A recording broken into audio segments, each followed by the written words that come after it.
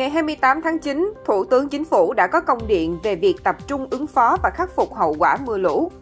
Thủ tướng Chính phủ yêu cầu Ban chỉ đạo quốc gia về phòng chống thiên tai và Ủy ban quốc gia ứng phó sự cố thiên tai và tìm kiếm cứu nạn, các bộ trưởng, thủ trưởng cơ quan ngang bộ, chủ tịch các tỉnh thành không được lơ là, chủ quan, mất cảnh giác, tập trung lãnh đạo chỉ đạo, chủ động chỉ đạo khẩn trương triển khai có hiệu quả công tác ứng phó và khắc phục nhanh hậu quả mưa lũ theo phương châm 4 tại chỗ,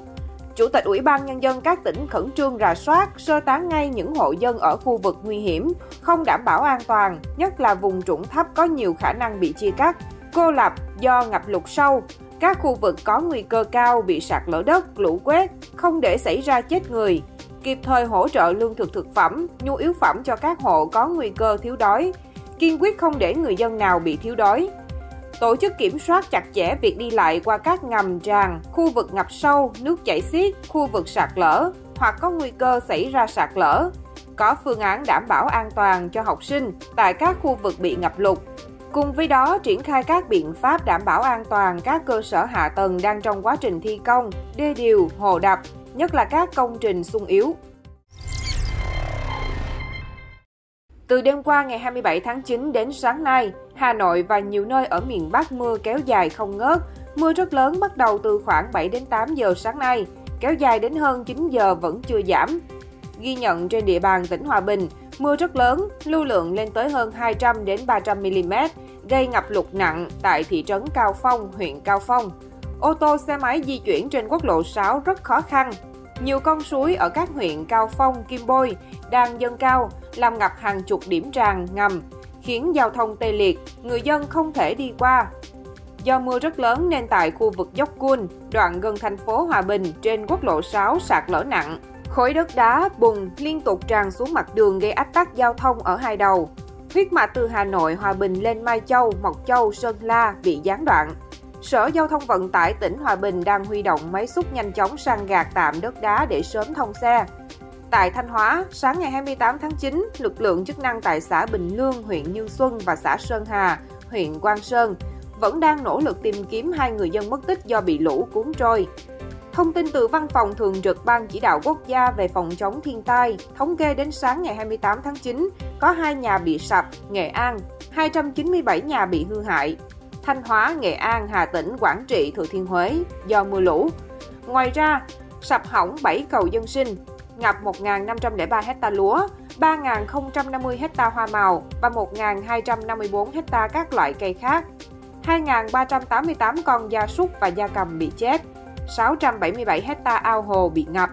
một tàu cá bị chìm khi đang neo đậu trên sông Danh, Quảng Bình, hai cột điện trung thế bị gãy đổ, Thừa Thiên Huế, 2.000 cây ăn quả, cây bóng mát bị ảnh hưởng, một nhà văn hóa, ba nhà kho bị hư hại ở Quảng Trị, sập đổ 993 mét hàng rào ở nhiều địa phương, hai nhà hàng nổi bị chìm trôi ở Quảng Bình.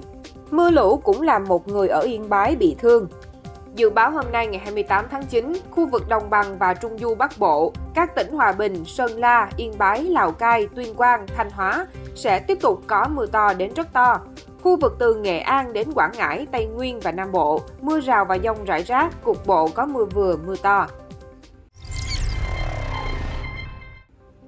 Liên quan đến vụ việc đối tượng dùng súng tự chế uy hiếp nhân viên phòng giao dịch ngân hàng Agribank, khu công nghiệp Mỹ Tho, thuộc xã Trung An, thành phố Mỹ Tho, tỉnh Tiền Giang. Tối ngày 27 tháng 9, một lãnh đạo công an tỉnh Tiền Giang xác nhận đã bắt được nghi phạm là Võ Thanh Hòa, sinh năm 1996, ngụ huyện Bình Đại, tỉnh Bến Tre, tạm trú xã Phước Thạnh, thành phố Mỹ Tho, khi đối tượng này đang lẫn trốn tại phường 10, thành phố Mỹ Tho.